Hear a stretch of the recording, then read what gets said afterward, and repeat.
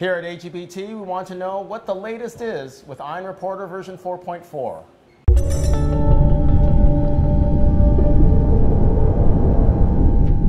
Carl, I understand there is a software demonstration tonight. What can you tell me about the latest release of Ion Reporter? Well, Dale, Ion Reporter, of course, in the triumvirate of design, sequence, and report, is Mm-hmm. the reporting part of the software. And Ion Reporter allows you to take all these variants that you found and actually make sense of them through annotations and filtering. And so, in the latest version of the software, we've got a number of improvements. We have, uh, well, first of all, I'll mention we have a couple new panels supported. Uh, we always support the latest Oncomine panels. We're actually supporting a new version of the Ampliseq Exome just for the Hi-Q chemistry. And uh, we also have a kit for the uh, liquid biopsy, uh, uh, workflow for the work, well, liquid biopsy. This is So- a Cy- uh, Cynvenio. that's correct. And so it's Mm-hmm. targeted specifically for that, and um, it takes all three of the different sample types you want to put in. It gets down to 1% limit of detection. It's actually quite powerful, and it's been tweaked just for this application. How is it able to get down to 1%? Well, it's the magic in the algorithms. I probably can't tell you everything you'd want to know about it. I mean, it, it has been shown. Absolutely. We've been using both uh, artificial samples with known variants uh, of the three types, as well as real samples to, uh, to verify that. Correct. Wow, that's great. Yeah. What can you tell me then about the other panels that you're supporting?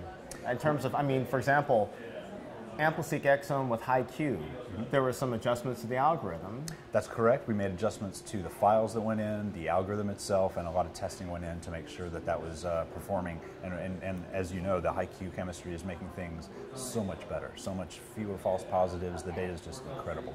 You understand that the high Q advantage is, was with particular on the high GC content amplicons. Is that That's correct? correct. That's correct. I mean, the uh, n- number of errors in those subset of amplicons went way down. Right, they showed the most benefit, but everything else got just better in general. But though you're right, those have got the best Yeah. benefit. I like. Any changes to the user interface version 4.4, or a lot of it was under the hood? Actually, there's a lot of it under the hood, um, but there are some changes. For instance, we've done some advanced uh, filtering options so you can do more complicated searching if you know exactly what you're looking for in a, in a list of variants and want to just go straight to that. We, uh, we give you a query language you could put in. Uh, we also have this uh, concept called My Variants in the software. This has been previously built in the software, but now we let you have a more full view of everything you've ever annotated, as well as get a complete export of everything you've ever annotated. And it lists, you know, what samples did I find it in, which analyses were these, um, and tell me everything about the variants and how I marked it as why it's important. And then I also understand there's some backward compatibility with prior. That's correct. We, uh, we have a, a new version of the software, Ion Reporter 4.4. And what uh, we've done is we've uh, allowed you to use the old versions that you might be used to and might have want to stick around in the software. And so you'll have access to these old versions of the, the workflows. And so what that allows you to do is to not only take advantage of the new stuff and even take advantage of the new UI features for everything, but you'll have access to those old workflows. They'll run exactly like they did. The same sample will go in, use the same set of algorithms in that as that old version, so you'll get identical results there and yet still have access to the brand new algorithms. And if somebody wants to give this a try, what do they do? Oh, you just go to you know Ion Reporter at lifetechnologies.com and uh, you can sign up for an account there For free? Dive right in. It's free. Uh, we have demo data for many of the workflows, so you can do your own analysis and look at the data using all the features.